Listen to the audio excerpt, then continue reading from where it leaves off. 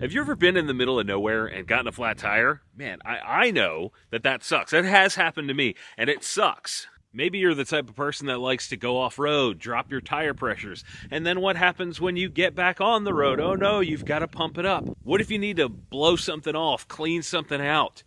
Just use compressed air in some way. Well, if you don't have onboard air, you are missing out. And that's what we're about to install on the Battle Wagon right now over at Mainline Overland. Let's go.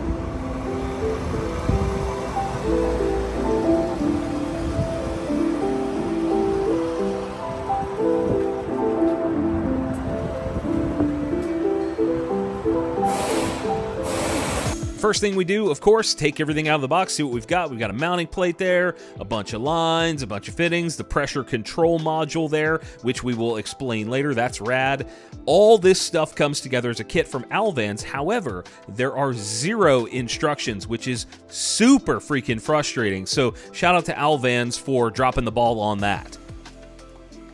And now Pat is removing the cabin air intake, which does go up to the hood. It's kind of a convoluted thing, but I don't hate it. There's where it was. You can see all the free space in the engine bay. And then we start to tap and sort of make holes correct for the hardware that comes with this mounting plate. Now, this is not that much different than normal ARB compressor setups. The thing that makes this particular one different is that it comes with that pressure control module, which adds a layer of complexity to the setup. Of course, from there, we're going to attach the compressor to the mounting plate, drop it in, and kind of get a feel for where everything's going to sit and lay just temporarily putting that intake box back in just to see where everything sort of falls. And despite not having instructions, Pat, being a legend, figured out exactly how the pressure control module was supposed to go together. We've got all that attached to the compressor itself. We got some lines set up. We got some fittings set up. And now it's time to take that entire unit and drop it down into the engine bay. You have to get it set up outside of the vehicle because of the tight fitment against the fender wall. Once that entire assembly is secured down to the vehicle, Pat is feeding some wiring through this sort of balloon knot in the firewall to get things through into the cab so we can set it up and get it all properly wired and functioning. Is this how you impregnate a cow? It's time now to get the front air chuck set up. Now, I did not want to drill into the bumper itself. I didn't think that was the right solution, so we're putting it straight into the bumper skin. There's going to be one on the front, as you can see, and then we're going to also put one on the back side of the van.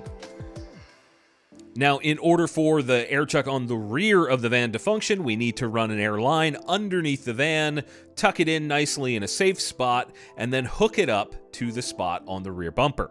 And as it turns out, the bracket that comes with the air compressor kit that I got fits nearly perfectly on the rear step that came equipped on my van. Now, Pat is pushing the towing wiring thing out of the way so that he can go ahead and mark those holes, but I thought that was pretty cool that it worked out really well. And of course, we then need to drill and mount the bracket in the rear before attaching that line. And now that the air chuck is mounted, it's time to trim the line to an appropriate length and get her fit into the rear air chuck and nice and secure. After a few more bits of wiring, it's time to get this thing buttoned up. The cow is pregnant. Time to move on to running the breathers. Now, we are mounting these little breathers or air filters inside this intake because it is more likely to get fresh, clean air, which is good for the air compressor. We definitely don't want to be feeding dirty, nasty air into that thing from inside the engine compartment. Now, as Pat's installing the second filter, I will say this we took the sort of furry cover off of the air intake box because it is often used as a nest for rodents. Being that I live out in the country, I travel all over, we took that thing right off, so hopefully that will sort of mitigate that being an issue. And as you might expect, those filters need lines going to them to feed the actual compressor itself, so Pat's doing that now.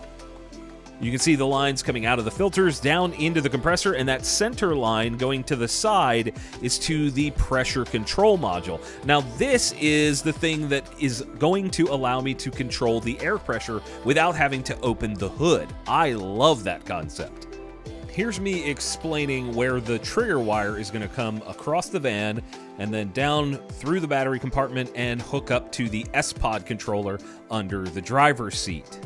Doing that will allow me to turn on the compressor from the driver's seat or outside of the van from my phone via Bluetooth through the S-Pod. And then I can control the air pressure through the pressure controller with the air compressor kit.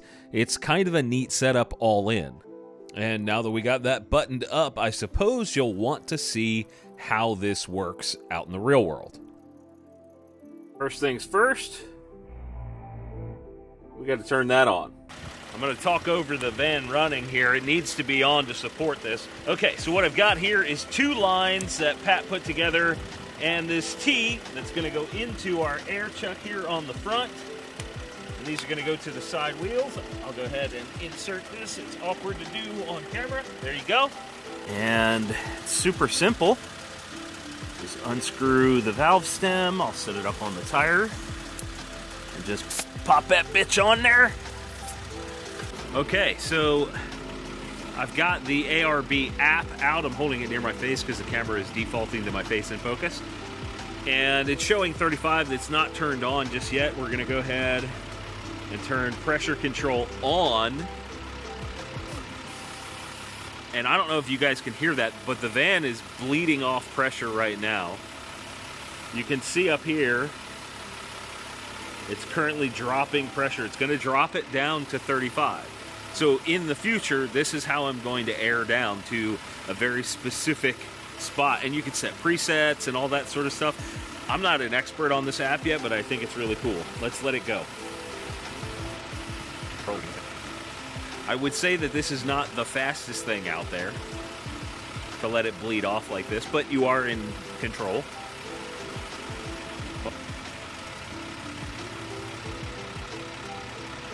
And the phone vibrates, and that is set at 35 on both front tires.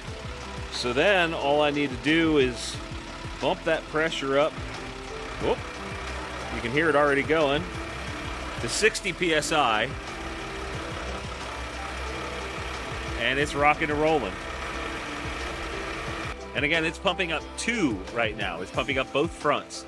Now, the reason I don't have the rear connected right now is because the dual rear wheels are still on there. And uh, quite frankly, I don't have the adapters for all that because you got to go inside blah, blah, blah. But it is currently pumping up the fronts 60 psi on both front tires, just like that. Now, to me, that is pretty valuable. Not only that, but I'll be able to get an extra hose and just blow stuff off, which I love being able to do, especially when we're out in dusty, dirty environments, blowing off my camera gear, all this other stuff. it's going to be a wonderful thing. So to unhook it,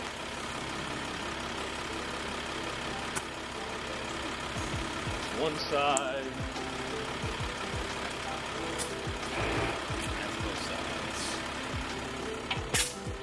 I definitely need to find a spot to keep all my airlines, like some kind of container, box, whatever, so I know what I've got, where it is, all that sort of stuff.